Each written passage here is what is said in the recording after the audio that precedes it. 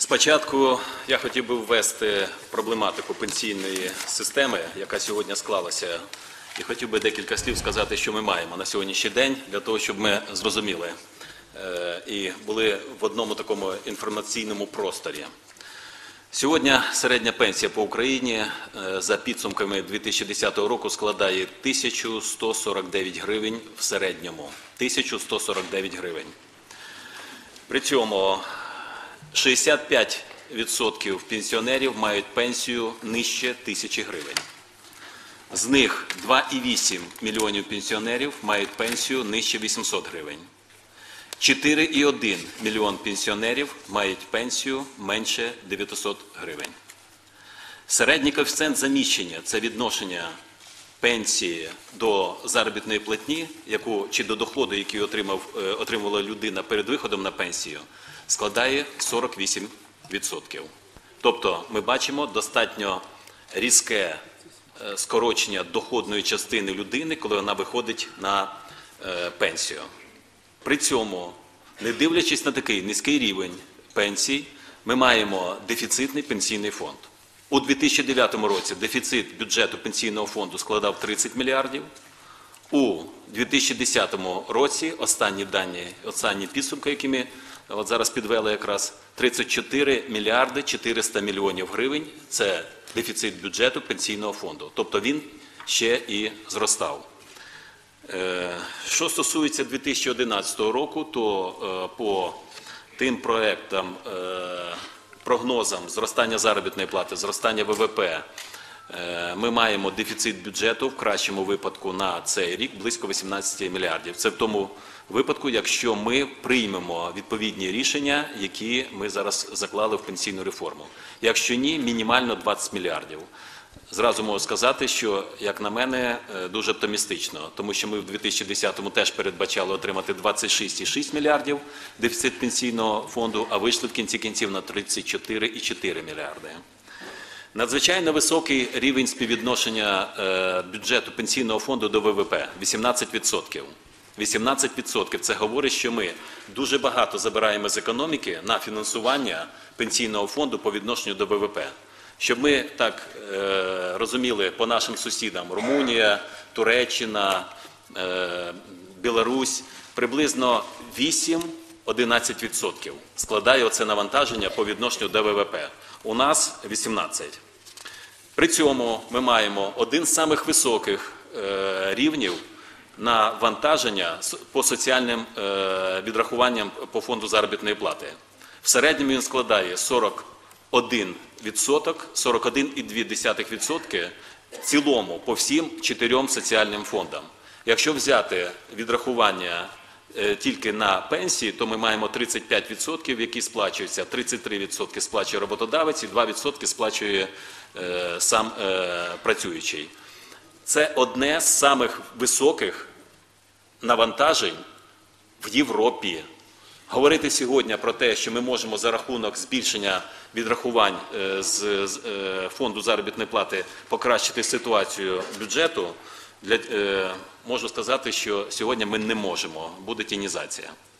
Кількість працюючих. Ми маємо погану е, тенденцію по співвідношенню працюючих і пенсіонерів. Система солідарна е, базується на тому, що всі працюючі утримують всіх пенсіонерів.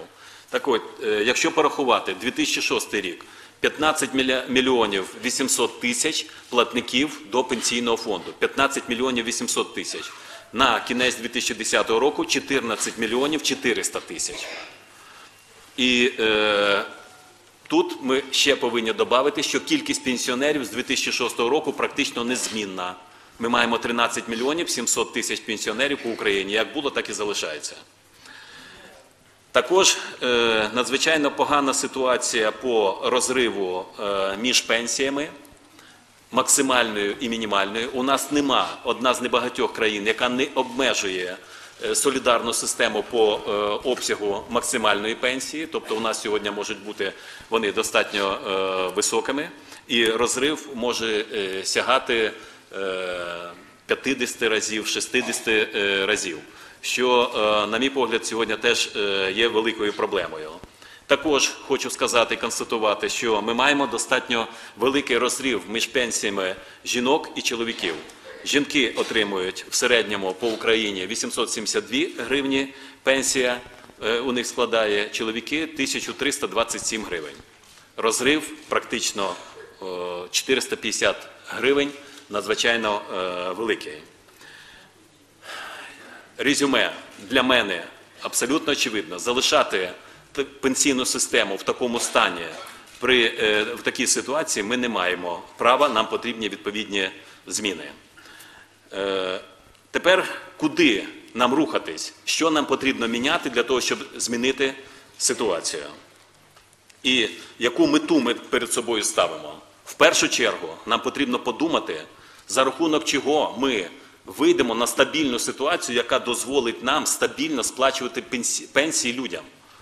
Якщо б у нас сьогодні не було підтримки держави, а кредит надає бюджет 37,4 34,4 мільярди, то ми би сьогодні мали величезну заборгованість по пенсіям по країні.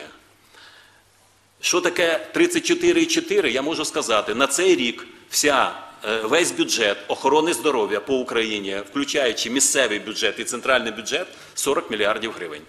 Тобто, фактично, в 2010 році ми взяли один бюджет охорони здоров'я і витратили на дотацію пенсійного, е, пенсійного е, фонду. Цифри надзвичайно величезні, надзвичайно великі. Це перша позиція стабілізувати виплату пенсій, щоб люди знали, вони виходять, і тут ситуація стабільна. І друге, я вважаю, що у нас сьогодні склалася надзвичайно важка ситуація по тим пенсіонерам, які вийшли на пенсію 15-20 років. Тому вони не можуть працевлаштуватися, працювати вони вже не можуть. Їх, я сказав, багато. 2 мільйони 800 тисяч це всі люди, які отримують нижче 800 гривень пенсію. Маючи такий дефіцит бюджету, ми не можемо просто навіть підібратися до, до вирішення питання для них. Вони залишаються один на один з проблемами. Є діти, вони мають якусь перспективу. Нема один дійсно на один зі всіма проблемами. Що нам потрібно рухати? Куди нам потрібно рухатись, де проблемні точки, які ми можемо натиснути і е, які дадуть е, ефект? Перше, саме головний ефект ми можемо отримати від покращення співвідношення працюючі і пенсіонери. Оскільки кількість пенсіонерів ми бачимо, що і по нашим прогнозам буде залишатися приблизно однаковою, ми все повинні подумати, що ми можемо зробити для того, щоб збільшити кількість працюючих, які будуть вносити внесок у е, солідарну систему пенсійного забезпечення. Надзвичайно важлива для нас проблема, і я вважаю, що це пріоритет номер один. Як би ми не крутилися, це показує досвід всіх європейських країн. Як би ми не крутилися, якщо ми не змінимо це співвідношення, нічого кардинального в цьому в пенсійному забезпеченні через солідарну систему ми не змінимо. Це перше. Друге, безумовно, е, друге питання і по важливості, е, я вважаю, і по е, такої важливості з резервів є тінізація робочого місця і тінізація заробітної платні. Якщо ми попрацюємо в цьому напрямі, то я переконаний, що ми мали би сьогодні надзвичайно гарні результати. Одна цифра. Сьогодні середня заробітна плата по бюджетному секторі 2 2400, по приватному 1800 гривень. Якщо тільки приватний сектор підніме свою заробітну платню до рівня бюджетного сектору 2400, мільярд знаходить 20 мільярдів гривень. Оце одна позиція, тільки підняти заробітну платню. Мільярд, е, 20 мільярдів, 20 мільярдів гривень. І е, третя позиція, я, яка я вважаю, ми повинні, е, по якої дійсно попрацювати, це безумовне економічне зростання. Економічне зростання безумовно за собою тягне попит на робочу силу, безумовно тягне зростання заробітної платні в будь-якому секторі, тому що е, державний сектор, приватний сектор, вони хочемо не хочемо конкурують між собою. Піднімає приватний сектор, збільшується відрахування до бюджету, є можливість піднімати заробітну платню в бюджетному сектору. Можу сказати, і зворотня теж діє. Як тільки піднімається заробітна платня в бюджетному секторі, бізнес хоче він того чи не хоче, вимушений е, реагувати. Тому Я думаю, що е, друга позиція це е, третя позиція це економічне зростання. Також я вважаю, соціальна несправедливість повинна теж е, дати свої, е, хай і не самі великі, не самі великі відрахування чи е, добавку не саму велику до пенсійного забезпечення. Можу сказати, що розмови, що давайте скоротимо великі пенсії і за рахунок цього ми виправимо ситуацію, вони не відповідають дійсності, тому що ми маємо 3800 пенсій. Я хочу сказати ще раз: 3800 пенсій по Україні, які складають, які мають більше 10 тисяч гривень. З них 800 чоловік це герої України, герої Радянського Союзу. Далі е, ми бачимо, що коли ми говоримо, що нам потрібно робити, бачимо, що комплекс дій, що пенсійна система не може одна за рахунок якихось одних кроків е, виправитись. Нам потрібно працювати в цілому е, в цілі. е, ну, по, по широкому колу заходів. Що стосується економічного зростання, комплекс реформ, які ми починаємо. Е, І тут е, стабілізація в першу чергу державних фінансів. Ви бачите, наскільки жорстко зараз іде скорочення по центральним органам виконавчої влади і оптимізація гарантійної структури е, Кабінету міністрів, центральних органів виконавчої влади. Е, Також нам потрібно стабілізувати банківську систему для того, щоб відновити е, можливість по кредитам для нашої е, промисловості. Третє, ми повинні максимально створити інвестиційні умови для, для інвесторів внутрішніх і зовнішніх. Оце такий короткий комплекс, який, якщо коротко говорити, можемо нижче поговорити більш серйозно про ці напрями, про ці реформи. Що стосується виведення зарплат з тіні, то Тут ми передбачаємо, і це я хотів би звернути увагу е, всіх присутніх, що ми хотіли би до кінця лютого відпрацювати законодавство, яке б ми хотіли, щоб ми приймали паралельно з пенсійним е, законодавством, змінами в пенсійному законодавстві, щоб ми вийшли на комплексне вирішення питання. Тобто два важелі, щоб ми включили одночасно. Зараз ми звернулися і до проспілок, і до роботодавців, і до всіх е, фахівців для того, щоб знайти відповідь, а за рахунок чого ми можемо збалансувати е, і відновити довіру людей, покращити ситуацію по легальної по легалізації робочого міста і по легалізації заробітної е, платні. Особливості приведення реформи. Я переконаний, що я не буду проходитись, але е, певну логіку я хотів би е, по е, всім нашим рішенням, тому що ви почитали і готові зараз до обговорення. Але е, логіку нашу я хотів би довести до вас. Перше, ми хотіли, коли ми починали обговорювати пенсійну реформу, поставили собі позицію. Е, Ті люди, які сьогодні знаходяться на пенсії, не втратять нічого. Тобто, ми практично самі собі сказали, що цю категорію людей ми залишаємо і вони не втрачають нічого. Те, що вони отримували, те вони будуть практично отримувати. Друга позиція. Ми е, хотіли робити все поступово. Якщо ми говоримо про підвищення пенсійного віку, то ми говоримо, що воно відбувається на протязі 10 років по півроку кожний рік. Якщо ми говоримо про е, продовження е, збільшення вислуги років у військових, то ми говоримо, що воно продовжується на протязі п'яти років по одному року в рік. Якщо ми говоримо про збільшення пенсійного віку для чоловіків державних службовців і 10 категорій прирівняних до них, то воно відбувається через два роки для того, щоб всі могли підготуватися. Що стосується відновлення соціальної справедливості, дійсно ми пропонували максимальний розмір пенсії обмежити 12 е, прожитковими мінімумами. Спеціальні е, пенсії на період роботи пенсіонера буде знижено до загального рівня. Е, пен- Пенсії державних службовців буде зменшено з 90 до 80% від рівня заробітної плати. Ми говоримо про е, зменшення на е, такого ж е, в таких же відсотках по відношенню до е, військових. І там теж максимальні пенсії будуть з 90 до 80% е, зменшені. Можу сказати, що зараз ми обговорюємо тут цілу низку питань, тому що виступали і профспілки, в тому числі на регіональних зустрічах говорили, що ви тут е, відрізняєте, будь ласка, керівний склад від е, складу той, який працює в районах, тому що там навіть у тих же державних службовців надзвичайно низькі е, заробітні плати для того, щоб ви могли компенсувати. е, чи впливати на великі заробітні плати, на великі пенсії, а щоб люди не залишились і не постраждали ті, які не повинні е, постраждати.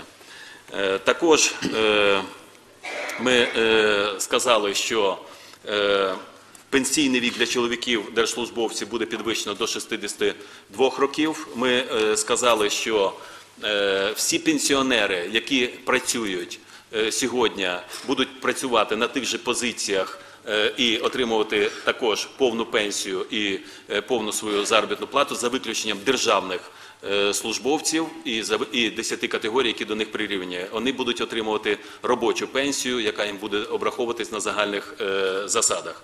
Е, Нинішні великі пенсії, крім того, що вони е, будуть сплачуватись, тому що ми не можемо порушувати позицію по конституції, вони не будуть індексуватися під час індексації. На це у нас можливість е, сьогодні є. Які соціальні компенсатори ми включили, і що ми можемо, е, я вважаю, чим ми можемо компенсувати певні проблеми, які у нас виникають. Перше, ми е, сказали, що е, вчитель, лікар, працівник культури, тобто велика частина бюджетної сфери, при виході на пенсію отримують одночасно з першою пенсією ще 10 пенсій, призначених для них. Е, Більше того, зараз ми обраховуємо е, таким чином, щоб це розповсюдилось е, на інші групи працюючих в бюджетної сфері. Іде розмова про соціальний сектор, іде розмова про фізичну культуру, працівників фізичної культури. Тобто ми попробуємо е, розширити це, але спочатку ми хочемо все серйозно порахувати. Для всіх жінок, які будуть виходити на пенсію, за кожні півроку е, роботи більше 55 е, років будуть е, нараховуватись до пенсії 2,5%. За рік 5%, за півтора року 7,5%, за два 10% і так до 25% е, в цілому. Що ми хочемо отримати в кінці кінців від реформи? Перше гарантування 100% виплати пенсії зараз і в майбутньому. Ця пенсійна реформа робиться на перспективу 7-10 років. Вона не дасть великого ефекту в перші роки. Цей рік, в кращому випадку, ми можемо отримати приблизно 2-2,5 мільярди ефекта для пенсійної системи. Але цей ефект буде постійно наростати кожний рік практично. І е, якщо говорити у 10-річному вимірі, то ми приблизно отримаємо 1,8% ВВП за рахунок оцих кроків, які ми пропонуємо. Це приблизно, по нашим розрахункам, буде складати приблизно 15% бюджету пенсійного фонду через 10 років. Далі встановлення соціальної справедливої системи пенсійного забезпечення. Тут ми повинні дуже жорстко попрацювати. Підвищення престижності е, роботи працівників бюджетної сфери теж для нас важливо. І нам потрібно думати і про стабілізацію бюджетного е, процесу і бюджету центрального е, країни в цілому. І е, тепер що далі? Як ми далі? Зараз ми проведемо з вами дійсно. Ми зараз сьогодні проводимо останню таку системну зустріч. Ми зустрічалися з представниками бюджетного сектору, з представниками силових е, структур, з представниками державного, державної служби, провели наради за участю по регіонам. Зараз ми більше почнемо слухати населення, і найближчим часом ми е, розповсюджимо і е, рекламу на телебаченні соціальну, і е, дамо бікборди, де будуть всі наші адреси для того, щоб почути ще населення. 16 е, е, лютого у нас обговорення у Верховній Раді, слухання Верховної Ради. До цього часу я буду вносити пропозиції Кабінету міністрів відкликати закон і з урахуванням громадських обговорень внести наступний закон. Це можливо зробити для того, щоб врахувати ті зауваження, ті пропозиції, які Кабінет міністрів е, буде вважати за е, слушні. Сьогодні ми вже близько 10 Сьогодні ми е, близько 10 таких пропозицій обговорюємо, послухаємо ще вас.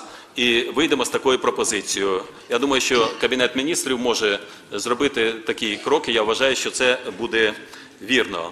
Ми хотіли би зразу після обговорення у парламенті прийняти закон у першому читанні, після цього попрацювати ще і е, бажано було би до кінця березня отримати зміни до пенсійного законодавства в цілому.